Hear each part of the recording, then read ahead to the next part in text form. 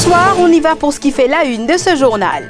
Un vol tourne mal à Sainte-Croix. Patrick Soavé, un voleur présumé, a été mortellement agressé par les frères Fok Seng Toussaint qui plaident la légitime défense. Pas d'alerte cyclonique à Rodrigue, du moins pour le moment, une zone de basse pression évolue au nord-est de l'île. Le ministre de l'Agro-Industrie annonce une allocation spéciale aux planteurs suite aux grosses pluies. Ils vivent un véritable calvaire à chaque grosse averse. Les habitants de Morcellement-Mana, Trangbar sont encore une fois dans la tourmente. La ville pakistanaise de Kasur s'embrase après le viol et la mort par strangulation d'une enfant de 6 ans. Un vol qui tourne mal à Sainte-Croix et se termine par un meurtre. Patrick Soavé, présumé voleur, aurait été mortellement agressé par les frères Alexis et Léon Fok Seng Toussaint, propriétaires du restaurant Marlène. Selon leur dire, la victime qui s'est introduite dans leur commerce voulait les agresser, raison pour laquelle ils se sont jetés sur lui. Chez les proches de Patrick Soavé, c'est l'incompréhension et le choc. Reshmi Bimuk, rue Alex Fox-Sen Toussaint a été provisoirement inculpé de meurtre en cours de Port-Louis en début d'après-midi. La police a objecté à la remise en liberté sous caution de cet homme de 68 ans. Son frère Liang Fox-Sen Toussaint, 64 ans, a été admis à l'hôpital. Il aurait été blessé. Les deux frères auraient mortellement agressé Patrick Soavé, un homme soupçonné d'être entré par effraction dans le restaurant des Toussaint. Patrick Soavé a rendu l'âme à l'hôpital. Les membres de sa famille sont sous le choc. Sa mère célèbre ce vendredi ses 83 ans. 83 mon gagné aujourd'hui. Parce que moi, je vais faire la messe.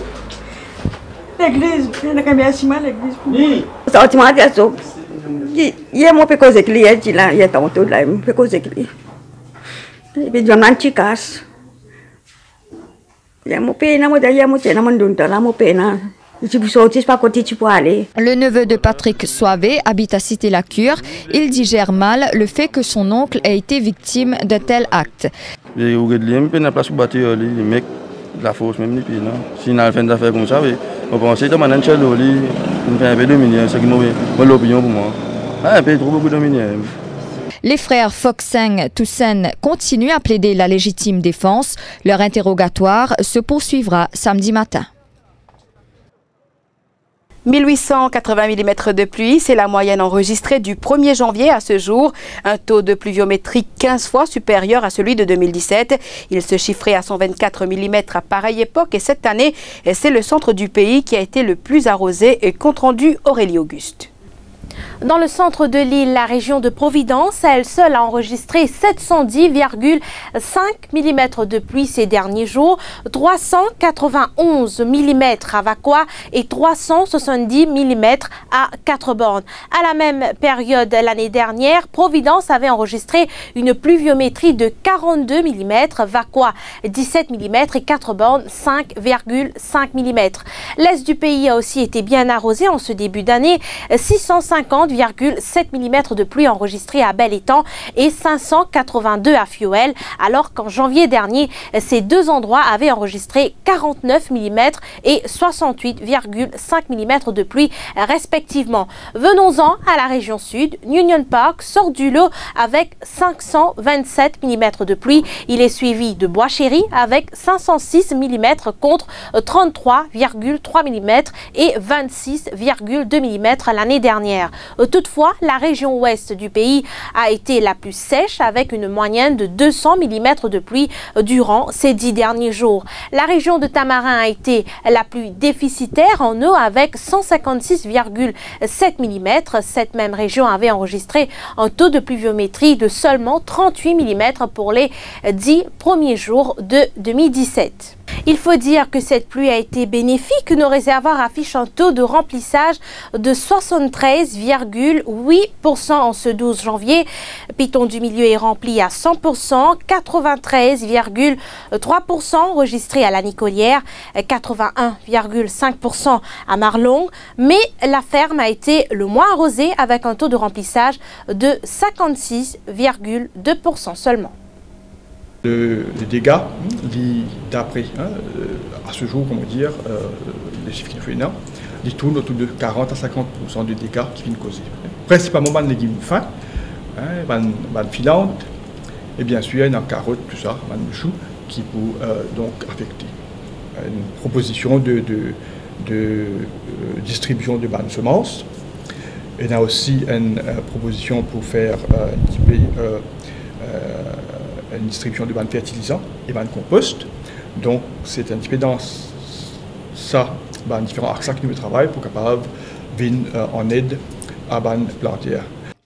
Pas d'alerte cyclonique à Rodrigue, du moins pour le moment. Une zone de basse pression évolue au nord-est de Rodrigue et la station météo de Vacua prévoit qu'elle se transforme en perturbation tropicale dans la soirée de ce vendredi.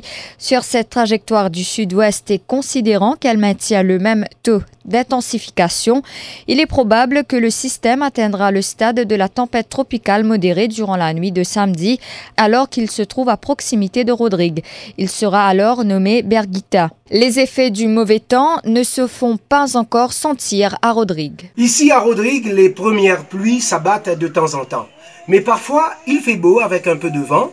Toutefois, il faut souligner que les habitants de Rodrigue sont un peu soulagés car ils ont un peu d'eau.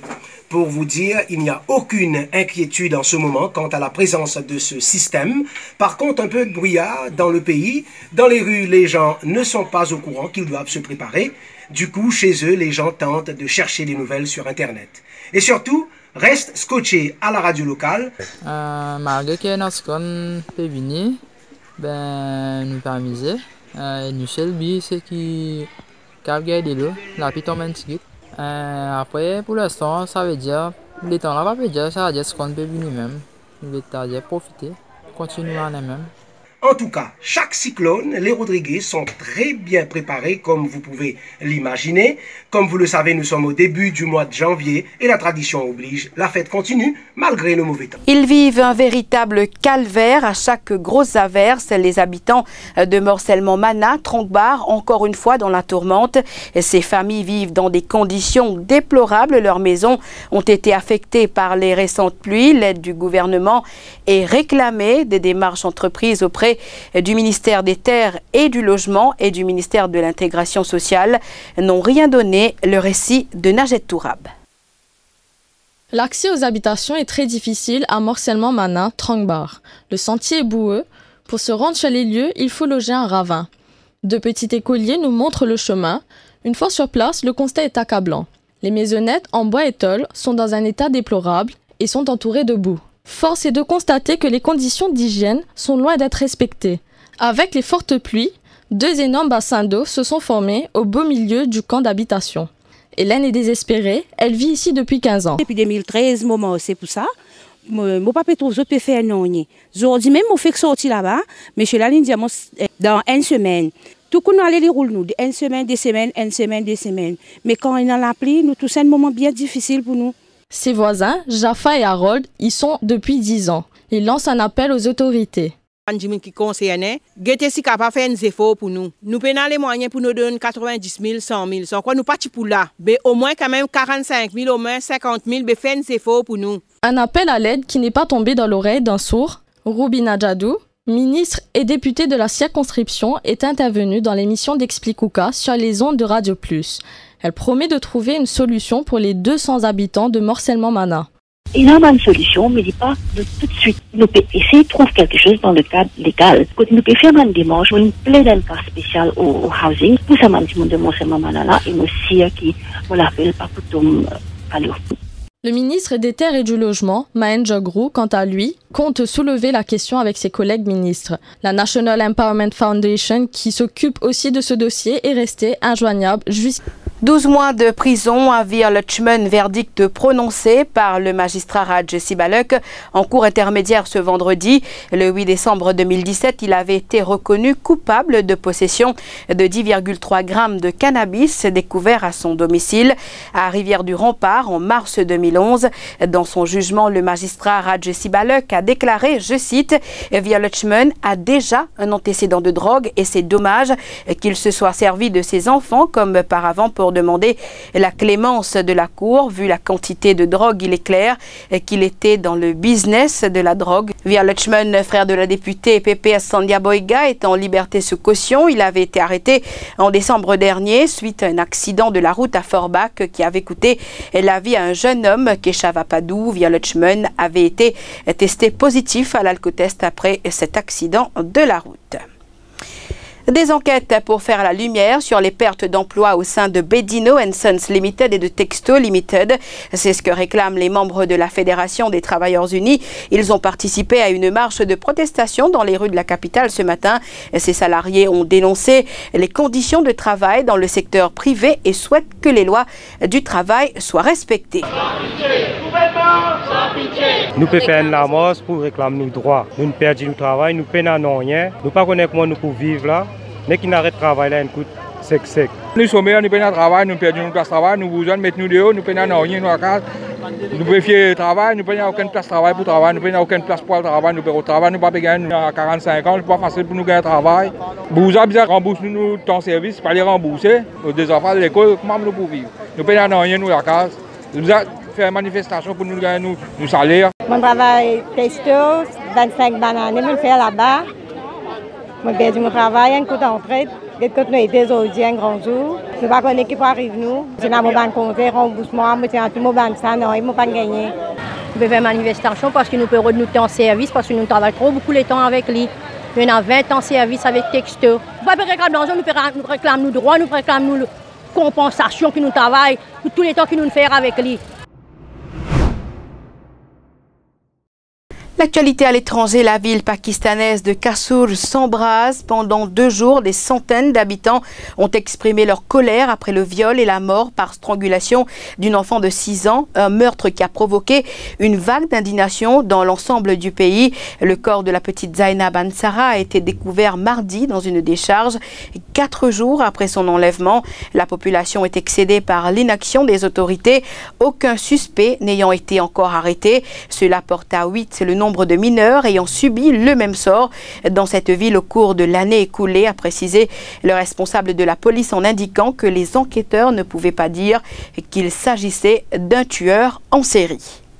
Donald Trump provoque un nouveau tollé discutant d'une réforme de l'immigration avec des sénateurs démocrates et républicains invités à la Maison-Blanche. Le président a provoqué l'indignation lorsque deux parlementaires ont évoqué l'accueil de ressortissants de pays africains, du Salvador ou d'Haïti. Pourquoi fait-on venir ici tous ces gens de pays de merde? s'est exclamé le président selon le Washington Post, préférant que les États-Unis autorisent l'entrée à des immigrants de pays comme la Norvège. Le président américain a ajouté Quel besoin avons-nous d'Haïtiens en plus a déclaré Trump qu'on les vire. Fin de citation. Voilà, nous sommes arrivés à la fin de ce journal. Merci d'avoir été des nôtres. L'actualité, c'est en continu sur le www.defimedia.info.